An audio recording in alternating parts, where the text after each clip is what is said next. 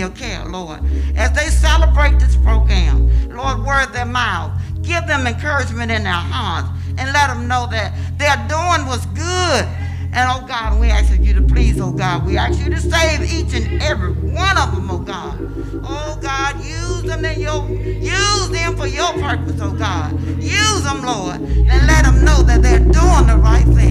Oh God, we ask of you, please, Lord, take over, take over today, Lord. We can ever, forever give your name all the glory, honor, and the praise. And these things that we're asking in your most holy name. Amen.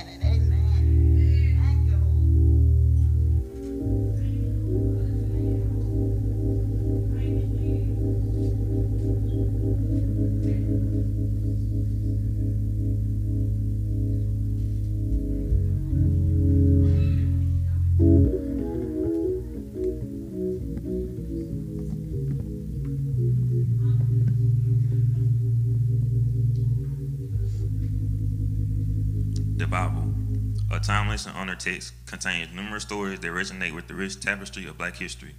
They intertwine themes of family, faith, strength, perseverance, courage, and freedom, inspiring generations with its profound wisdom. Family is treasure in the Bible, emphasizing the importance of unity and love. Just like Joseph, a man of African descent who rose from slavery to become a trust advisor to the Pharaoh of Egypt, the Bible showcases the power of familial bonds that transcend societal boundaries. The family is in the bedrock of the African American community, as is true for every community. Remember, no matter our background, we are all part of God's family and called to support and uplift one another.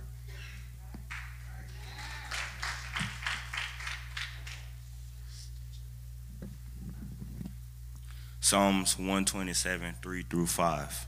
Lo, children are an heritage of the Lord, and the womb and the fruit of the womb is his reward. As arrows are in the hand of a mighty man, so are the children of the youth. Happy is the man that hath his quiver, full of them. They shall not be ashamed. Um, they shall not be ashamed, and but they shall speak with the enemies in the gate.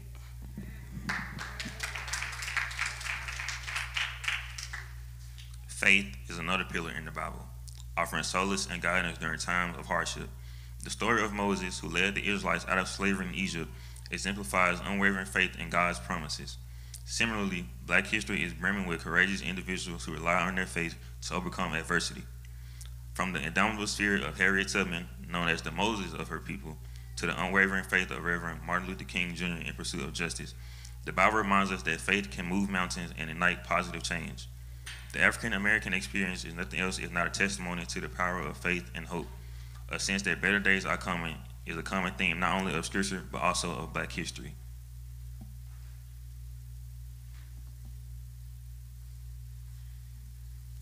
Matthew 6, 31 through 34 ESV.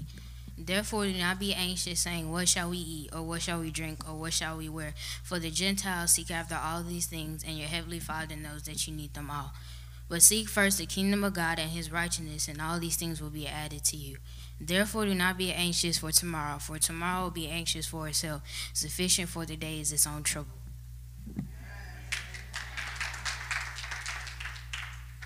Strength, perseverance, and courage resonate throughout the Bible, inspiring generations to persevere in the face of oppression. The story of David and Goliath echoes the resilience and bravery found in black history. Like David, who fearlessly confronted the giant, black communities have consistently demonstrated resilience and courage in the face of adversity. From the abolitionist heroes who fought for the freedom to the civil rights activists who marched for equality, the Bible's message of strength emboldens all who seek justice. There are often parallels drawn between Moses leading his people out of bondage and the freedom of slaves in America. Joshua speaks to the need of both courage and strength.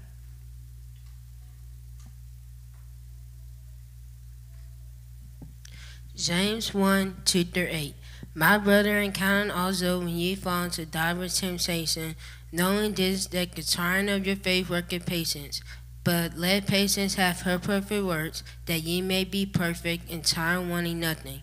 If any less if any lacks wisdom, let him ask of God, God give it all men liberally and upbraid it not, and shall be given him. But let him ask in faith, nothing wavering, for he that wavers like the wave of the sea, that is driven with the wind and tossed. For let not any man think that he shall receive anything of the Lord. A double minded man is unstable in all his ways.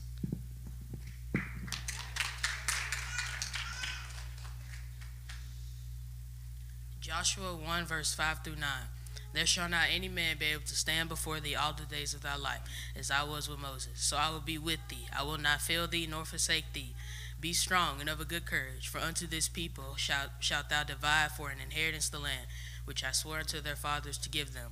Only be thou strong and very courageous, that thou mayest observe to do according to all the law which Moses my servant commanded thee. Turn not from it to the right hand or to the left, that thou mayest prosper whithersoever thou goest. This book of the law shall not depart out of thy mouth, but thou shalt meditate therein day and night, that thou mayest observe to do according to all that is written therein. For then thou shalt make thy way prosperous, and then thou shalt have good success. Have not I commanded thee? Be strong and of a good courage. Be not afraid, neither be thou dismayed, for the Lord thy God is with thee whithersoever thou goest.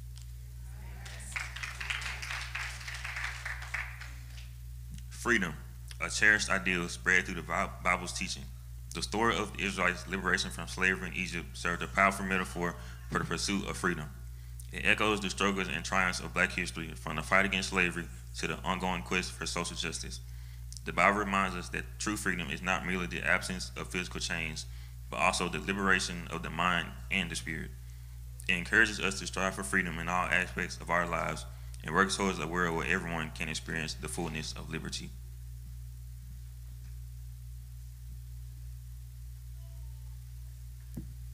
John chapter 8, verses 31 through 32.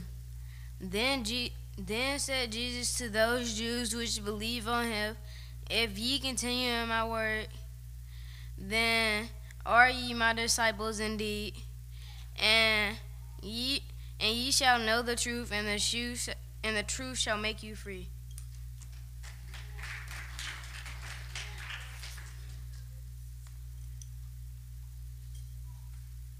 2 Corinthians 3 and 17. Now the Lord is that Spirit, and where the Spirit of the Lord is, there is liberty.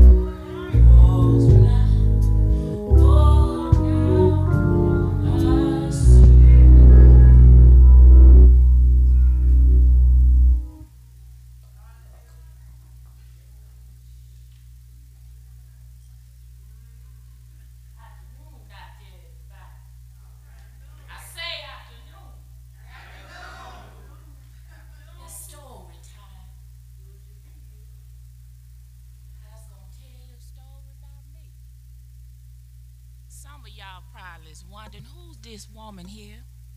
I was gonna tell you. I was born on the eastern shore of Maryland, Dorchester County, March 1822. My name is Araminta Ross, but my friends call me Minty. You see, I was one of nine children born into slavery. My mama Harriet and my daddy Ben were both slaves. My mama was owned by the Brodess family, who often hired me out to whoever would buy me. As a young girl, I was forced to do work, including caring for children. My job was to look after the baby and keep her quiet. If she cried, I got beat. One time, that baby cried and cried about five times in one night. And I got beat five times in one night. I'd even drive the oxen, plow, and haul logs all day long in the hot sun. Sometimes I'd walk in the fields checking muskrat traps. Ain't smell too good. One time I got so sick down, I come down with the measles. I wasn't no more than about six years old.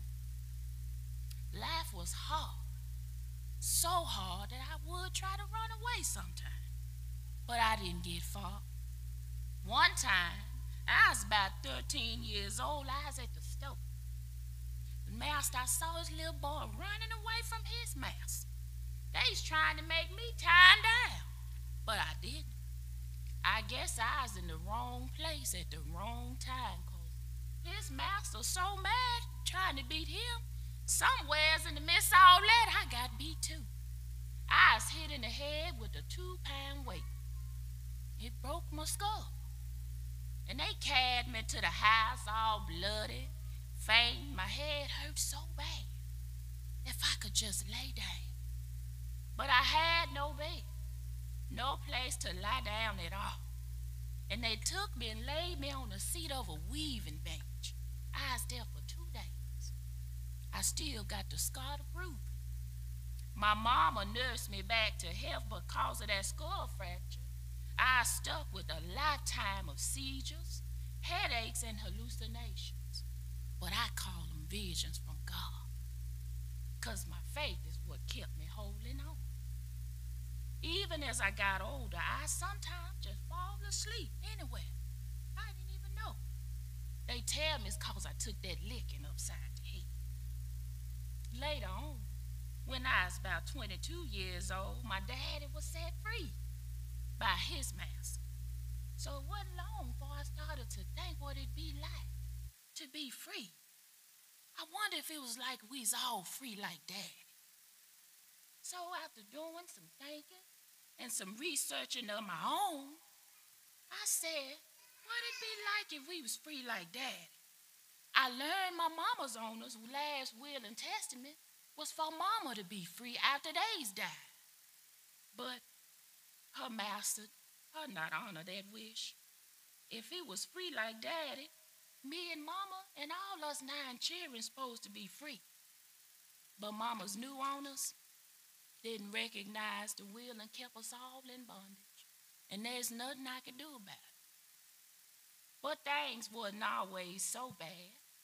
I did find myself smiling in the face of a good man. He's easy on the eye. He was a free man. His name was John Tubman. Cause when he asked me to marry him, I said yes. And that's when my name changed from Araminta Ross to Araminta Tubman. We didn't have a lot, but we had each other. I'd married a free man, and I knew the only way we could truly be together is if I was free too. So about five years after we was married, I decided I was going to be free. I was going to be just that, free. So, on September 17, 1849, myself, my brother Ben, and my brother Henry, we decided we was to escape that old Maryland plantation. We was on our way to freedom. But somewhere along the way, my brothers got scared and they turned back. They went back, but not me. I was gonna be free. You hear me out there? I was gonna be free. I walked and I walked and even run. Sometimes I crawled. I was so tired, but I was gonna be free on my journey. I was on my journey to freedom. Going nearly 90 miles, I pushed forward by foot with blisters and sores, bloody, bloody feet, but I was going to be free. You see, I had to travel by night, but I wasn't alone. God was with me. Guided by the North Star, I tried my best to avoid them slave catchers, eager to get rewards for slaves like me trying to run away. And yes, I, I had some help along the way. I met so many peoples. in the Underground Railroad. I'd heard stories about the Underground Railroad, but it wasn't the railroad I imagined in my head. There's no trains, no tracks, no puff, puff, and toot, toot at all. Instead, it was real people, white people, black people, that helped hide me, feed me, and they gave me direction instructions to safe houses. They were abolitionists who provided sanctuary for slaves, freedom seekers like me. And the farther I got from Maryland, the more I could feel it. I was free. Glory to God, I was free. I made it to Philadelphia, Pennsylvania. When I found I had crossed that line, I looked at my hands. I looked over. I was a new person. There's such a glory over everything. The fields, the sun came through the trees and over the fields. I felt like I was in heaven. Hallelujah. How I got old. How I got old. Mm. My soul looked back and wondered how I got old. How I got old. It was gone. How I got old. Soul looked back and wondered how I got old. I was free. As a free woman, I quickly found work there as a housekeeper in Philadelphia. And to make things official, as a new woman. I even changed my name. No longer was I Araminta Tubman. Now I was named Harriet, like my mama. Harriet Tubman. Got a nice ring to it, don't? A year went by. I grew lonely. I was missing my family. Sure, I had reached my goal of freedom, but I wasn't satisfied living freedom on my own. I wanted freedom for my loved ones and my family, my friends too. So I went back. I had to go back. My family was going to be free too. I returned to the South and I found my family. I got mama, I got daddy, I got my brothers too, some others too. I even went back and tried to bring my husband John north with us because I had took that dangerous journey, he'd went on and married another woman. Hmm. I guess he thought I'd got tired of died on my journey in search of freedom. So he chose to stay in Maryland with his new wife and child. Nonetheless, there's still more work to do. More people deserve their freedom too. Farewell, old master. Don't think hard of me. I'm going to Canada where all the slaves are free. I had found my strength. I had found my faith in God. He gave me the strength and the courage to plan and execute my journey some 19 times more. That's right. Those 19 trips through the Underground Railroad back and forth to Maryland from Pennsylvania took me about 10 years. But it's all worth. Brought about 70 people from slavery to freedom. I wanted to settle for a while. I took my family. We went from Canada to Auburn, New York. New York. I felt like it'd be safe there to take care of mom and dad for a while, but the fight for liberation still called to me. It still called to me. I had to just listen. It called to me. I had to help all I could be free. Around 1961, I found new ways of fighting slavery. During the Civil War, I worked for the Union Army first as a nurse, as a cook, and then an armed scout. That's right, I was a spy. Harriet the spy. The army used my knowledge as a nurse to help nurse enslaved soldiers and treat them.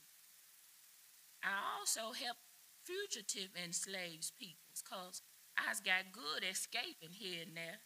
Everywhere the army gave me a position as the first woman to lead an armed military. Anyway, I provided crucial intelligence to the commanders about Confederate Army supply routes. And now I helped eliminate and liberate 700 peoples to their freedom. Folks say I'm some kind of hero. Some call me Moses of my peoples, because like Moses, I helps people escape from slavery. Others refer to me as the conductor on the Underground Railroad. Those are just a few opinions of me. But there's one thing I do know. I never ran my train off the tracks, and I never lost. I spend most of my years dedicated to helping liberate others. What I take no credit for is God. 'Twasn't me, 'twas the Lord. I always told him, I trust you, Lord. I don't know where I'm going to go or what I'm going to do, Lord, but I expect you to lead me. And he always did. It was all in God's time. God's timing is always near. He gave me strength. He gave me courage. He set the North Star in the skies, in the heavens. He meant that I should be free.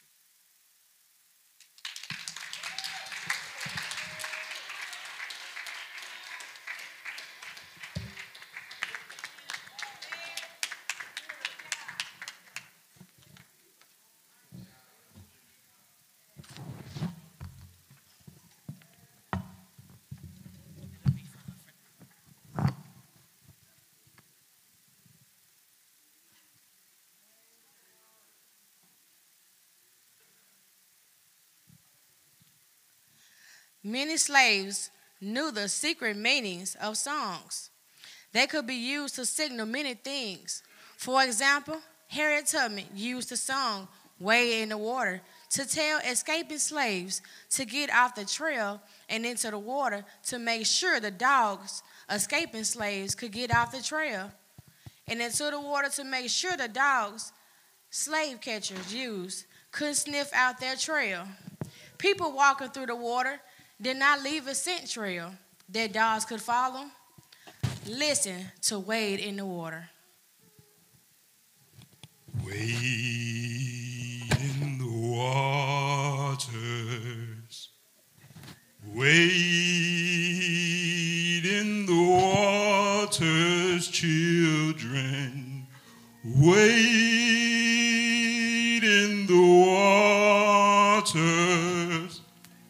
God's gonna trouble the waters. Wade in the waters. Wade in the waters, children. Wade in the waters. God's gonna trouble the waters. Down in the valley, down on my knees, wade in the waters, asking my Lord to save me, please. Wade in the waters, down on the mountain, Jehovah did spoke. Wade in the waters. Out of his mouth came fire and smoke. Wade in the waters. Wade in the waters. Wade in the waters, children. Wade in the waters.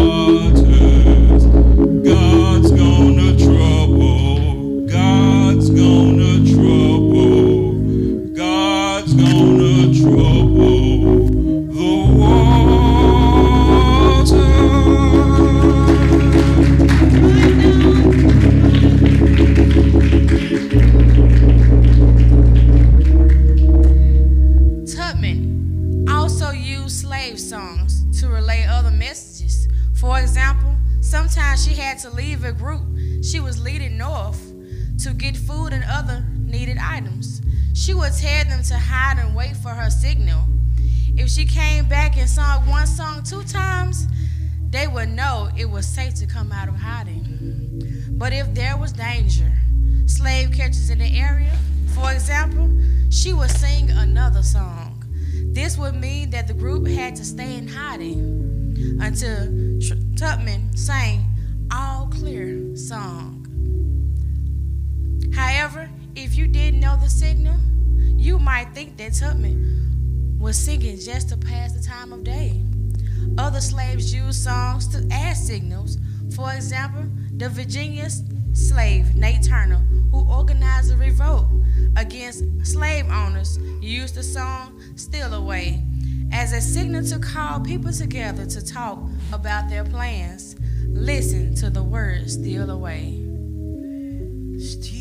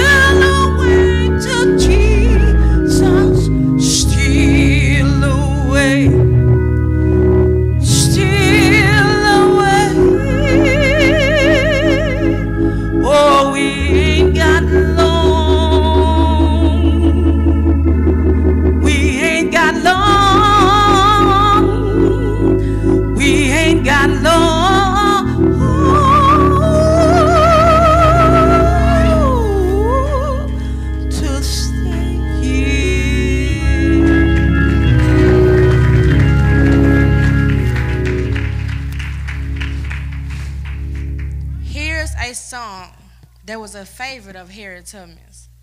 What do you think it might mean to slaves who heard the song? What, what might other people have thought when they heard it?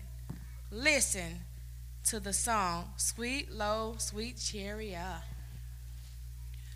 Swing low, sweet chariot, coming for to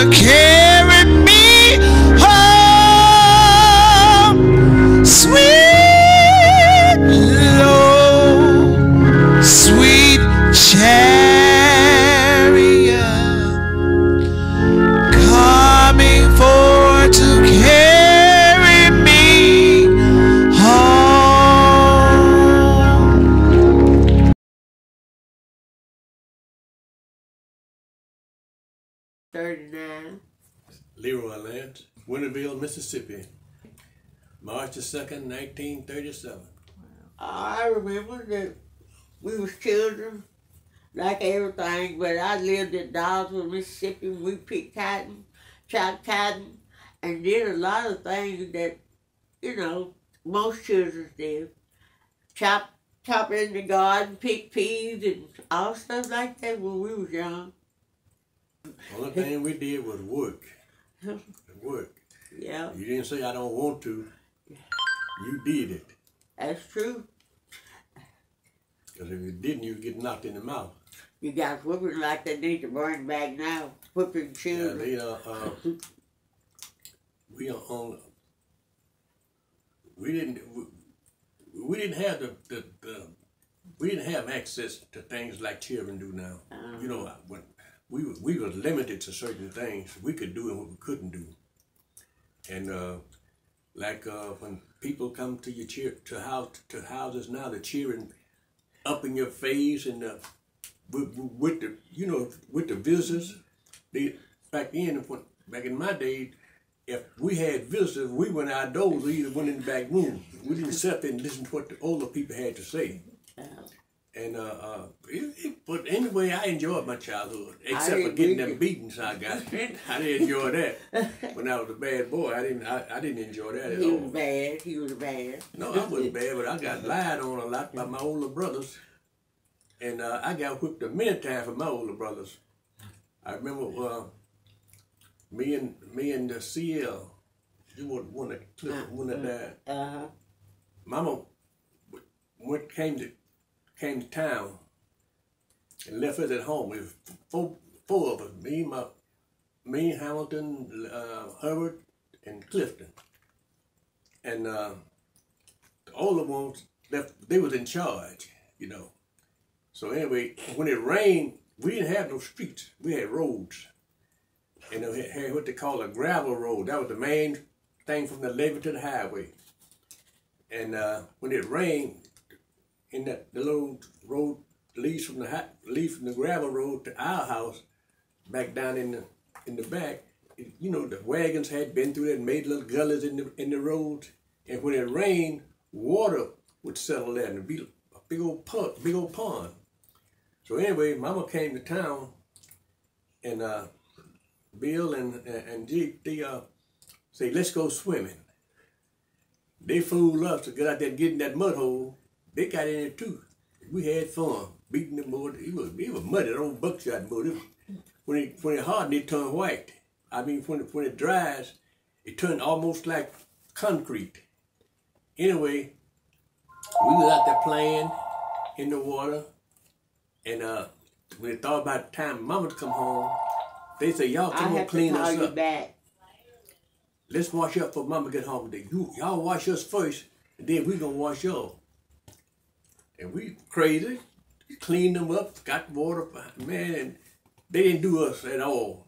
Mama come home, but she hadn't paid us no attention. She hadn't paid how dirty we were, how, how muddy we were. And my older brother, Bill, he kept on hollering, boom, boom, boom, boom, boom, like we was splashing the water, you know. After a while, Mama looked around and saw us. Boy, if that little woman didn't be, didn't put some sticks on us that day, and I, like I said, I got I got beaten for a lot of things I really wasn't didn't deserve, but I did. And uh, but anyway, it, it was a good it was a good childhood growing up. Yeah. It was it was nice. It was good. Because we learned how to work. Yeah, we, We learned how to work, and we was supposed to be obedient, or else you got knocked in the mouth or something. You know, I we couldn't talk and say anything and everything to our parents when we was coming up. preacher came to the house one, one Sunday. Mama had cooked some chicken and dumplings. I don't know what is, but it was chicken and dumplings. And uh, we didn't eat with, with the children didn't eat with the grown folks. The grown folks ate first, and then we ate.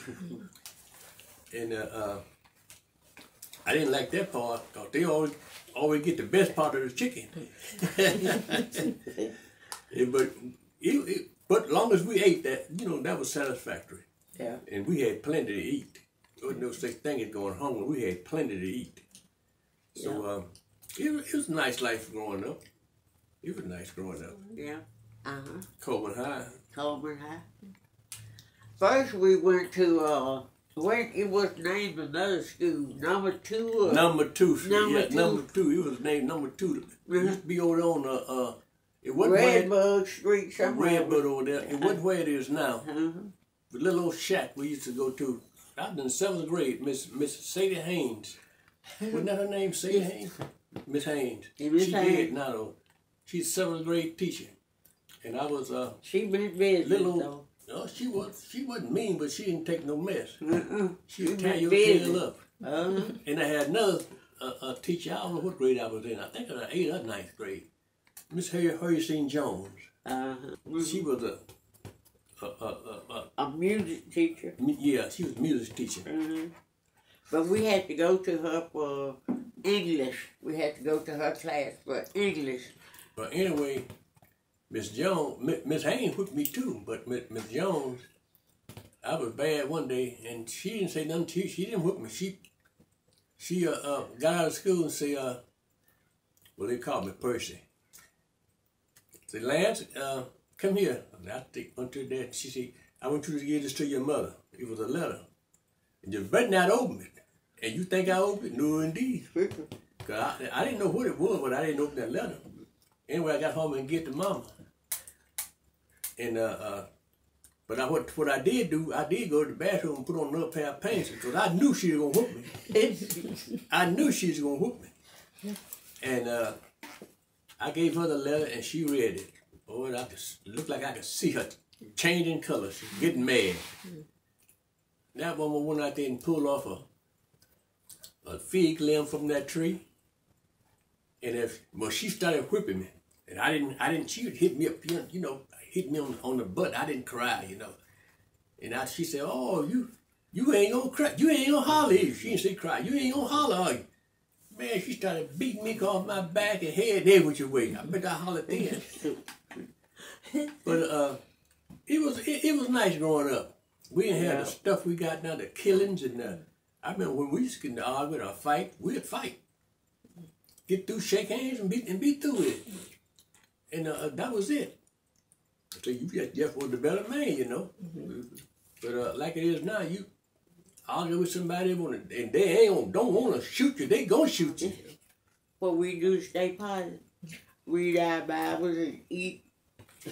Read our Bibles and stay, and stay, stay and say, Lord, we belong to you.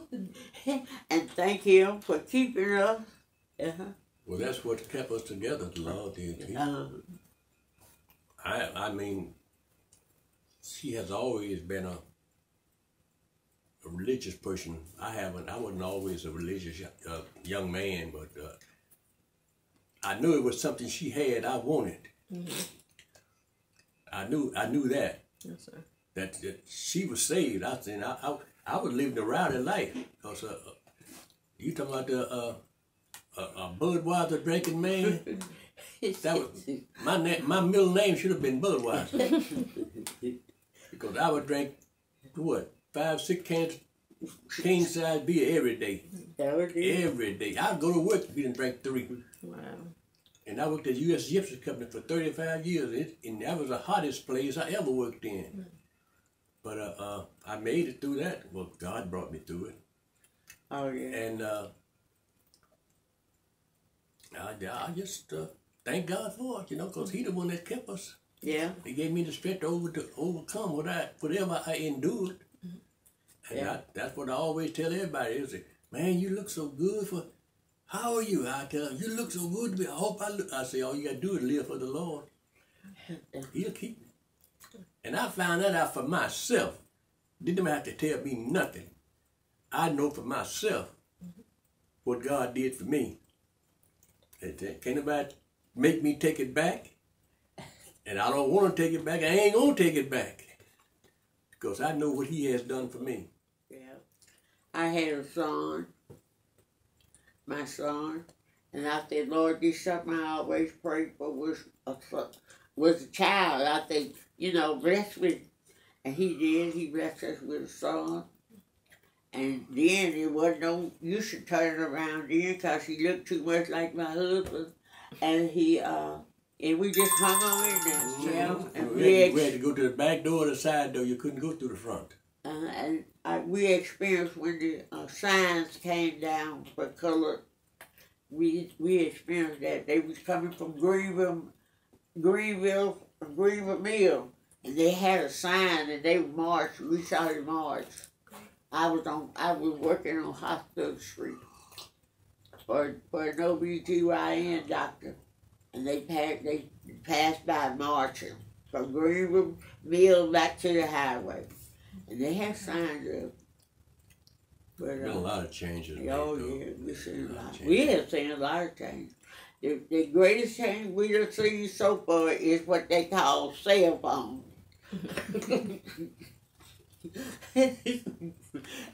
They can be helpful as well as harmful. That's what I've noticed about them.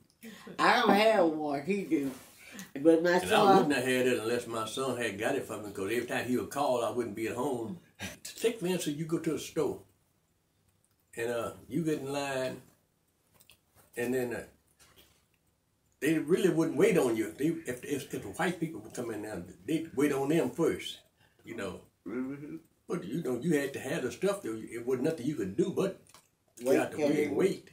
So that, I, went, I went through a lot of that. Lily B. Williams, out from Chula. 89, March the 22nd. Na- I born 1934. I was happy. We played a lot with one another.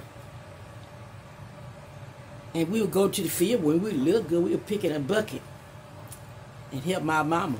Uh-huh. So once we got it down mind, we gonna take her out of the field and we just go pick enough cotton for her. And we didn't know that she was going out there picking cotton and carried all the grandchildren with her. And she would pile it up in the field. And we'll come home, she'll have the house clean, clothes washed. And so we just know she was, you know, at home and she was picking cotton good.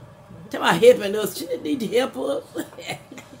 she had so much cotton uh, uh, just pile up in the field when, you know, she'll go and empty that. And then she said, come around one time. She said, y'all run and get my cotton. I said, cotton? Well, she had been picking. That's what we learned she was doing. And I mean, she, I don't know, she had so much cotton out there in the field, but we got it, I don't know, did it end up get wet or not. But we got it out, and uh, we all of us was kind of sorry because we thought we had our mama.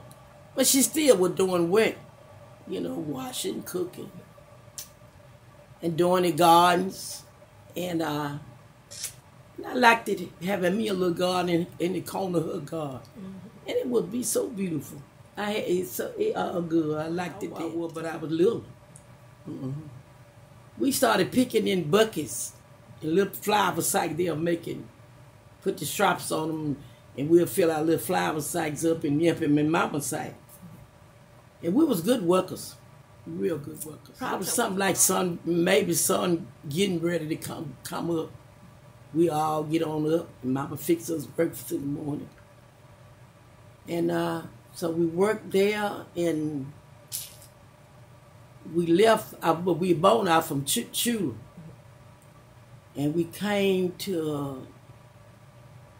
Uh, I don't know what year we came to London, but we were small. And we stayed there, and then we came on Mastille Plantation. That's a big plantation. Well, we went to school. Miss Lena Mae Pitt used to come from Itta Bena, Mississippi. And uh, she stayed with us a lot. And she really ought to have been serious and concerned about our lesson, but she would kind of, I guess, let us get away because she did at our house. all the time. But I don't care how people love somebody. I always see to their child getting their education because they going to need it. And uh, finally, I come of age, and we, on Sunday, we go to Sunday school. And then we could go to somebody, some maybe some of the girls' house every once in a while. I wouldn't say everyone, but the saints did. I believe they had a great fear of the Lord. And they do now. Because I don't know, seems like they just going along. And, and, and I guess God is left out. And they, you know, because we look and think maybe things different from you think it is. I hope. Because when Jesus coming back, come back at a blood white church, that spot of wrinkle, oblivion, any such thing. And if we ain't that church, we'll be left behind. So I don't want to be left behind. I want to be that church. He look, he coming back expected. Amen. He already know what we is, but he's still looking for that blood washed church. But God want us to, you know, have a clean life before Him. And I wind up in Leland, Mississippi, and I've been here, and I just can't believe I've been in Leland all these many years. I guess when I started having, when I got married, started having babies, I didn't want to just take them off, you know, because you never know what you're going to face in towns and big towns or small towns.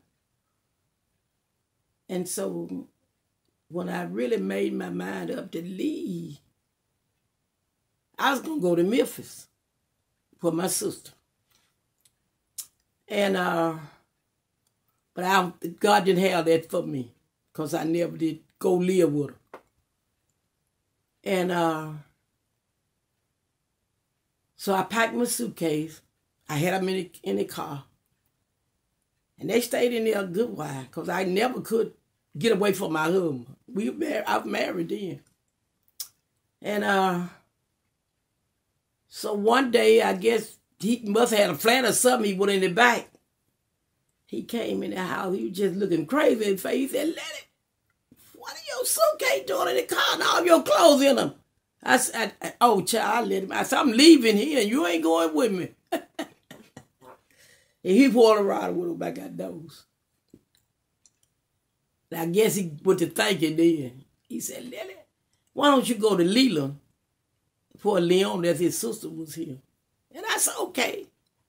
And all I do come Leland, then leave, went on to Memphis somewhere, you know, close around, but you don't, you know, you don't know nothing about the town. But I've been here ever since.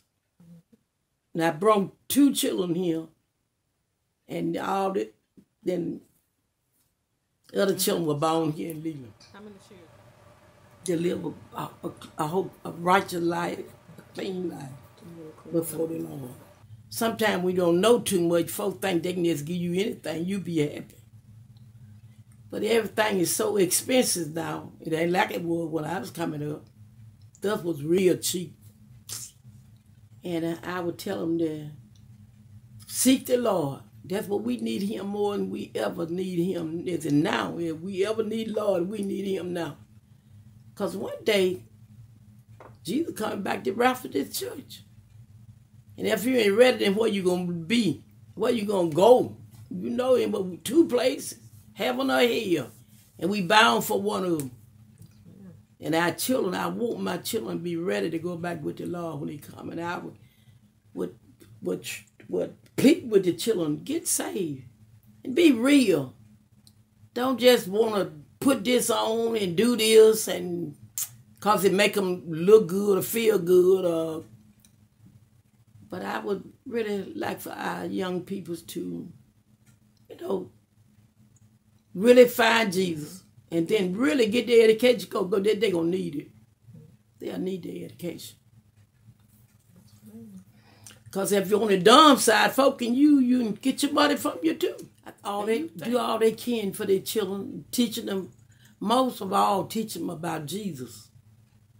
The love of Jesus. And if they get the love in their heart of Jesus, then they, I think they'll be all right.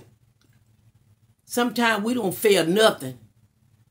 It's a certain fear we have of Jesus. We know he ain't coming down and knock us in the head, but it's a fear certain I believe a person should have about Jesus that would help them along the way. Yes, ma'am. You say, I ain't gonna do that because you know Jesus see me. Mm-hmm. But when people think Jesus don't see them, they don't care. I guess in my day, me, everybody different. Thing like that didn't really just bother me, you know, because, you know, raising up in, in church, knowing about Jesus, what he can do, and and how he can do us.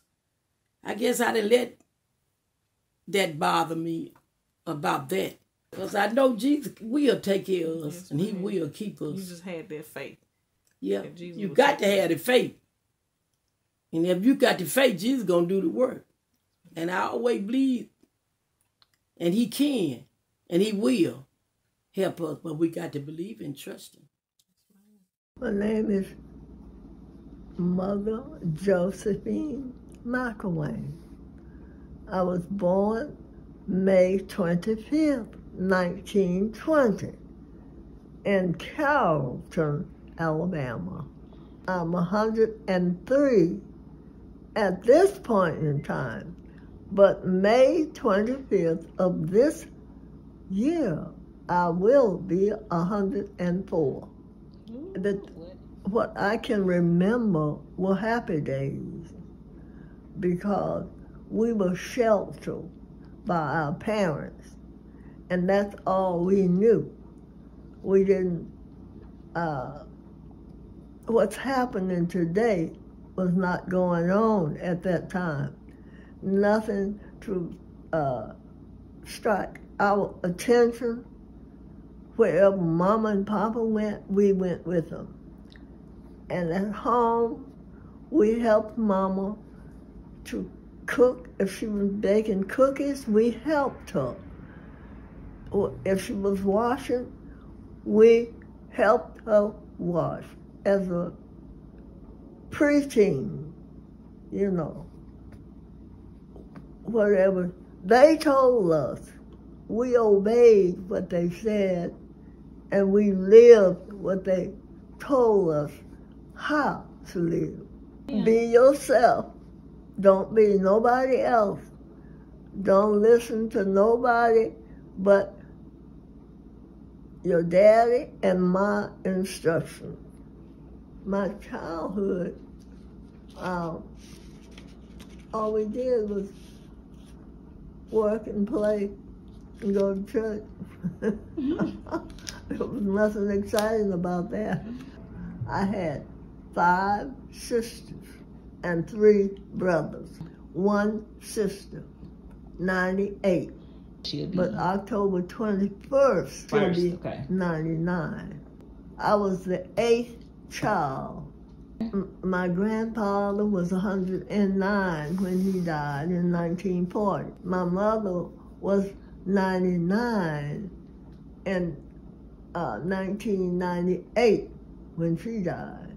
1980 when she 1980. died. My daddy was 94 in 1968 when he died. Uh huh. And my oldest sister was 99 uh, when she died. And to be a person with a character, the word she used was be stylish. All right. And I looked it up in the dictionary, and that word meant one of a kind. Af- After I left home at the age of 20, Mm-hmm. President Truman was. He was president in 45. I got all the presidents here because cause black people were not voted. Okay. Uh huh. We didn't vote. Yes, ma'am. and they didn't vote until after I left in 1940. And the only president that I really know about was Truman. That was in St. Louis. And uh, he ran for president in 1945. And I worked on the poll uh-huh, in St. Louis. I, I was voting. I don't know about down here, but I was voting in St. Louis. Carter, one year. Bush, four years. Barack Obama, 2008 to 2016. Right. I campaigned for Truman. Uh-huh. all the all of the presidents. About uh-huh. that. I met Bishop Mason, 1942. I had gotten saved at uh, Ella uh, Turner's church, Windsor Temple, and uh, and Bishop Mason were friends. There were no bishops then. There were overseers. And when the candidates all from each church would come to the Mississippi River to get baptized, Bishop would be there to, to uh, pray for them before they got uh, baptized. Mm-hmm. Bishop prayed for me in 1942. Okay. I was 22 years old. and he prayed on my mind, prayed on my hand, and on my feet. Had a missionary to rub, go down my legs while he prayed. Bishop Mason, after praying for me, laying his hands on my head. And he said to me, I was going to live to be a, a ripe old mother. You're not going to have anything. You'll never be rich. But God is going to take care of you. What he meant when he said that, I had to live so God would take care of me.